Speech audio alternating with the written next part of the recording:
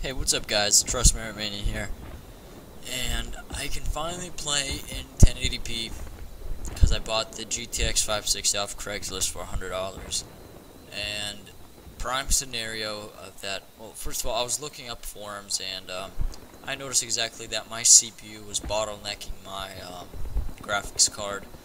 And I finally decided to make a video about it because there's 5 billion of them, but it's kind of getting a little bit annoying sometimes.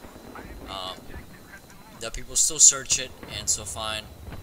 Decided so that if I ever get asked on YouTube, hey, do you know if my uh, CPU is bottlenecking it? I'll have a link to this video, and I'll be able to explain exactly what happens.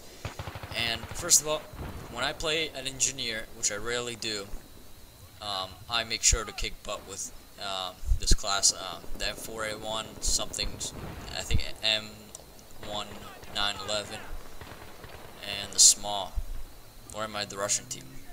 RPG, whatever. Um, but what happens is I can play on low, high, medium, just messed up the order, and ultra without the anti-aliasing or whatever it's called, and get the exact same FPS, and not like the FPS won't change. I'll be about 25 to 30, maybe even low 20s to 35 max. And that's how it is for the whole four settings. Like, I, I just, I don't, I don't know what to say. I honestly do not know what to say. Um, so I have to get a new CPU, and that means that if, so let's just take, you have to take an extreme graphical game to be able to know that if your CPU is bottlenecking. What bottlenecking means is it does not allow your CPU, I mean GPU to perform at its best. So currently your GPU should be up in like the 90% working its butt off to try and um, you know play make this game work at its best. And currently it's barely running. Mine's running at like 40%. That is not good. Oh, get pooped on. Um, so they shot first and they still died. Still, that's what it means. So the way you're gonna find, um, like, be able to know that if your GPU is getting bottlenecked is one FPS. Um, download Fraps. You don't have to record. I think it's free now, or you can torrent it. I am pretty sure you can find it for free, or Dxtory you can find it for free on Pirate Bay. And you know, check your FPS. Um, then, second, don't check your FPS if you have like if you just bought a brand new um, CPU and you, you, you, just want to see if it's bottleneck. Don't don't do that. Bought a CPU in the last two years and if it wasn't like ten dollars, you should be fine. Um, so as I was saying, I, I was I'm kind of pissed because now I have to get a new CPU and my parents don't want to upgrade the computer because it's getting kind of old. It was crappy from the beginning, and it's just it's a pain in the butt. So just buy a good computer from the beginning. Make your own so you save money and you make the best computer.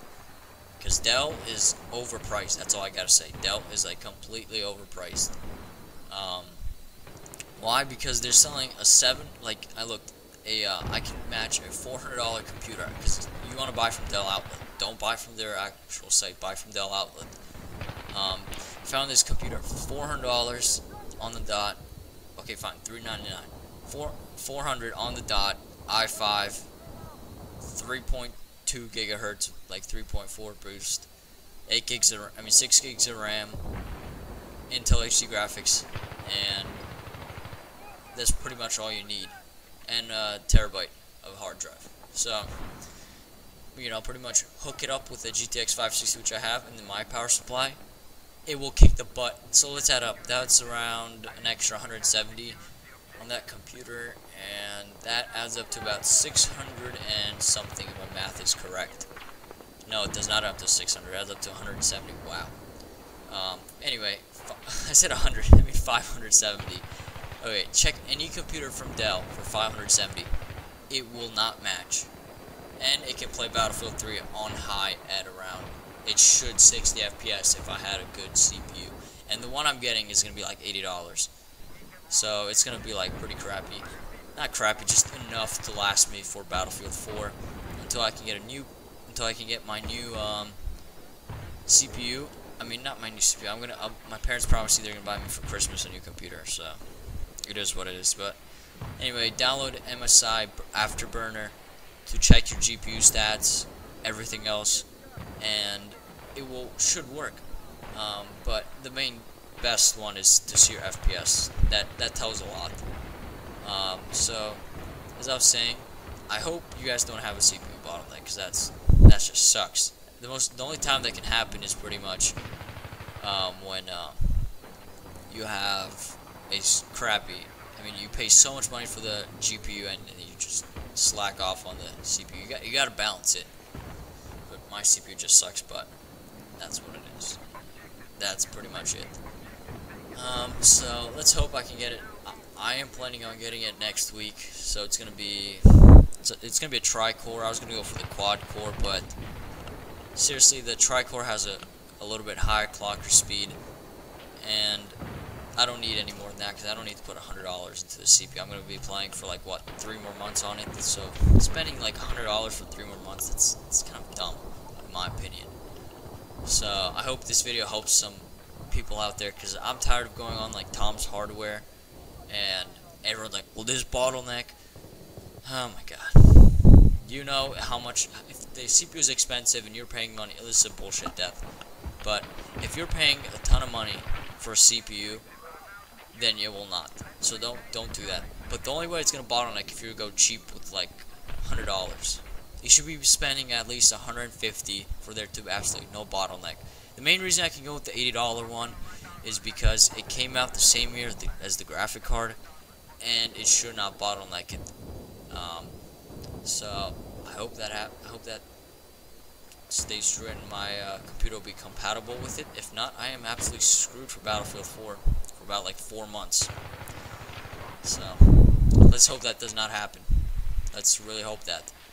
So, anyway guys, thank you guys for watching. Video's coming to an end. I had to quit this due to the fact of my dad coming down and he does not want to see me play video games. So, anyway, thank you guys for watching. I hope you guys, as I always say, have a wonderful day, and I'm praying for you not to have a CPU bottleneck if you build your own computer. Um, so, goodbye, and again, have a wonderful day.